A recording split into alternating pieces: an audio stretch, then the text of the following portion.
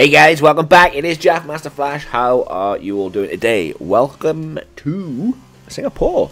Um, Singapore is a circuit that I do enjoy. I really do. Um, I know it's a, a, long one, probably one of the longest on the on the circuit, alongside Spa. But um, as for a circuit, uh, a street circuit, so to speak, um, I do enjoy it. I really do, and uh, hopefully, hopefully they will renew their um, license for 2022 so we can have Singapore on the calendar. Because I believe there's two circuits. I think it's Singapore and Canada that um, are or haven't renewed their licenses yet uh, to host Grand Prix.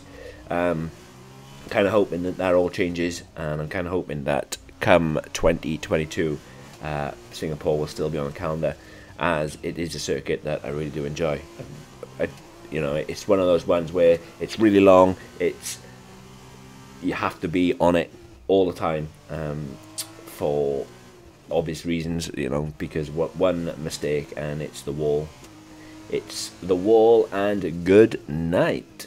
But yeah, this is um, MP Motorsport and this is uh, the Formula 2 setup that I brought for you today. Hopefully it helps. Hopefully it is all good hopefully you can get as much use out of it as I can or or I have.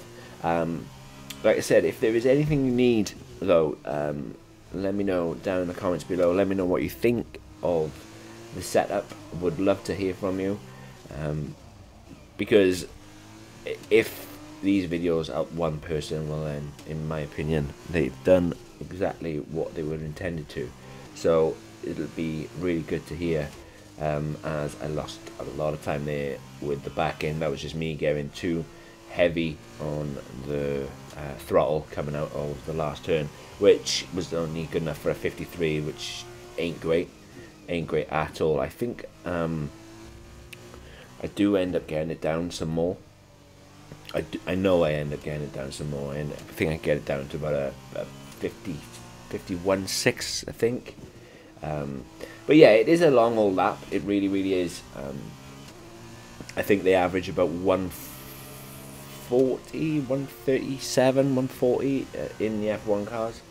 Um, so yeah, but still, uh, I really have enjoyed doing all these, um, all these F2 setups. And like I've said, as soon as I've completed the dry, I am going to run through all the wet and then um, go go back and forth and then when that is completed I'm going to get the F1 setups out that I've used and see if those are going to be of a benefit to anybody.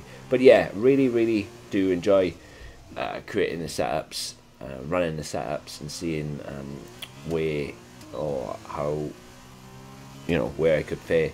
Um, and when they drop the new F2 cars the, this year's iteration of F2 cars, and I might even run um, an F2 championship, something I've not done before. Um, so yeah, I might even do that. Uh, but anyway, wherever you are in the world guys, hope you're good. Remember to do all that good stuff, like hit the like button, hit, hit the subscribe button. I'll catch you in the next one. Peace.